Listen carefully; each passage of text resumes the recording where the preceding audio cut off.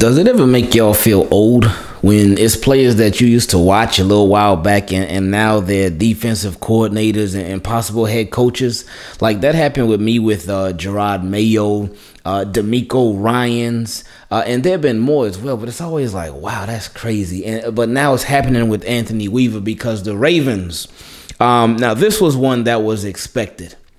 This was one that we we all saw coming an interview that we all saw coming because this is what the Ravens have done in the past.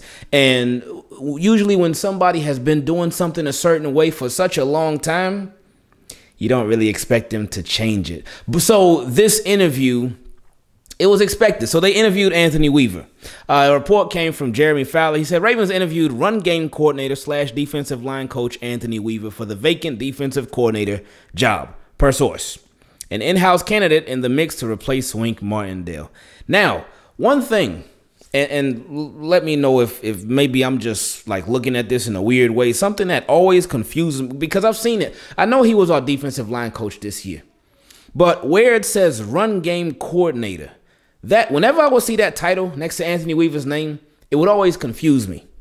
Now, I, I would think that if he's a defensive line coach, maybe they're talking about the defensive run the, the run defense game coordinator, but it says run game coordinator. And I would always see that and I would like wonder like not offensive run game coordinator, right? But anyway, Anthony Weaver uh, had an interview with the Ravens for the job. So let, let's look at Anthony Weaver's coaching history. Because uh, we know he recently came from the Texans before he was with the Ravens, but let, let's take a look at it.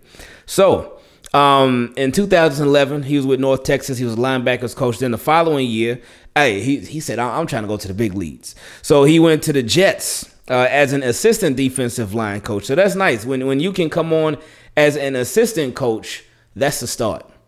That that's the start because that allows you to be groomed to go from being an assistant to having an assistant, and that's exactly what happened to him. Uh, then the following year, he went from New York to Buffalo, so from New York to New York. Uh, but he went to be their defensive line coach. No assistant, none of that. And I want to was this around the Rex Ryan time? I'm not 100 percent sure, but anyway. Um, then he followed that. He went to be the Cleveland Browns defensive line coach in 2014 and 2015. And then with the Houston Texans, he was their defensive line coach from 2016 to 2019. So for a little while.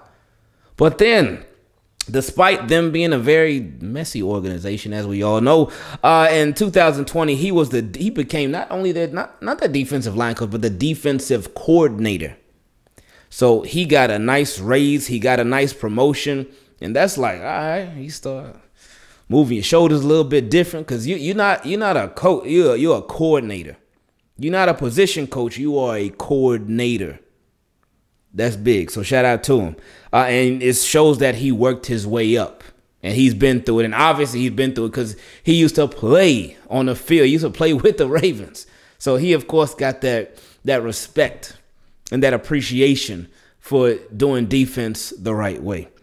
Um, and then he was also the defensive line coach with the, uh, the the Texans in 2020. But then of course this year he was a defensive line coach with the Ravens uh, and the run game coordinator. And of course, because we know Texans, they were just a mess last year, the year before last, and they just they they blew everything up.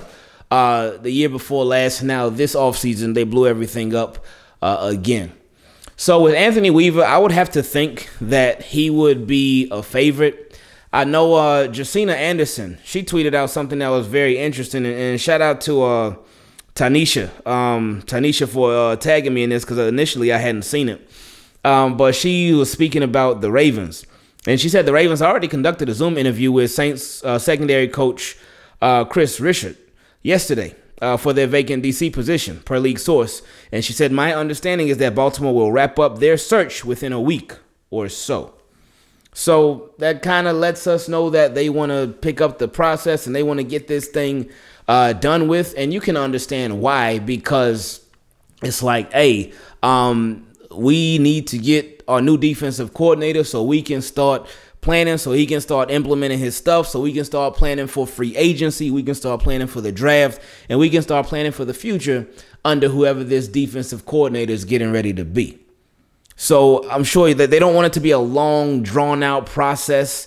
They they want to nip this thing in the bud and, and they want to get it done so they can move forward with everything else. So we'll see.